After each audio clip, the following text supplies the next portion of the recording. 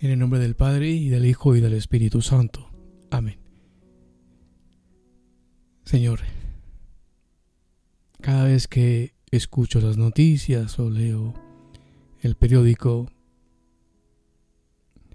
me aterra mucho encontrar noticias de muertes, de violencias y de guerras. Noticias que agobian. Y hoy me levanto porque quiero venir a ti para escuchar tu palabra.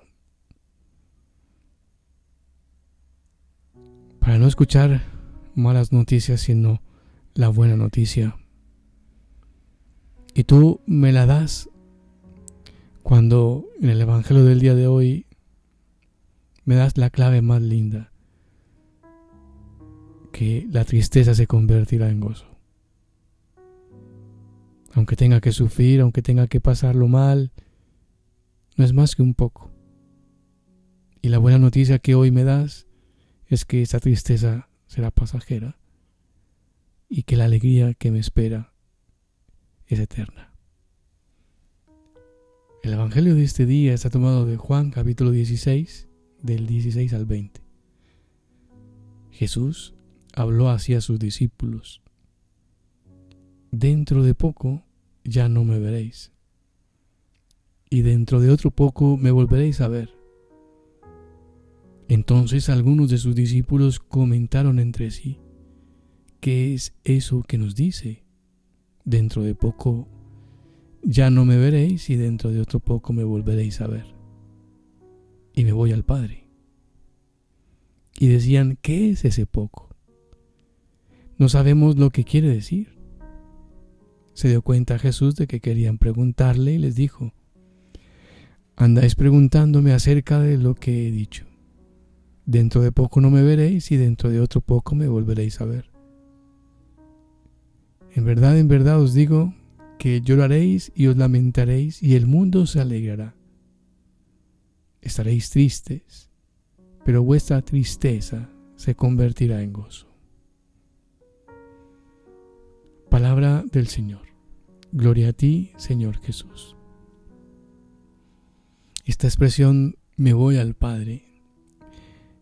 Creo que para los discípulos, incluso para nosotros hoy, puede ser una de tantas frases del Evangelio, inclusive más teórica que práctica, porque no conocemos al Padre. Nadie conoce al Padre sino el Hijo. Pero Jesús, que ha vivido durante toda la eternidad en el corazón de Dios, ha experimentado el éxtasis de amor con el Padre. Sabe dónde va y se llena de gozo por estar ya inminentemente en su retorno. Por eso, aun en medio del dolor, del sufrimiento que se le viene encima, se llena de alegría y exclama. Qué bonito escuchar esa expresión del Señor cuando dice, ardientemente he deseado celebrar esta Pascua con ustedes. Y Pascua es paso, el paso de la tierra al cielo, del mundo de los hombres al mundo maravilloso de su Padre. Y en realidad Cristo pues ha vivido entre nosotros como un exiliado, porque su patria es el cielo, pues donde está el Padre, su Padre. Ha sido un exilio voluntario de amor. Salí del Padre vine al mundo, ahora dejo el mundo y voy al Padre.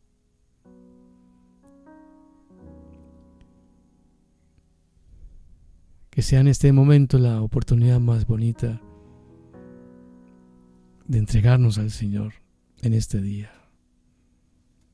Al acabar este momento de oración, mi corazón rebosa de gozo. Gracias Padre al darme a tu Hijo Jesús para enriquecerme con toda clase de bienes. María, auxilio de los cristianos, ruega por nosotros.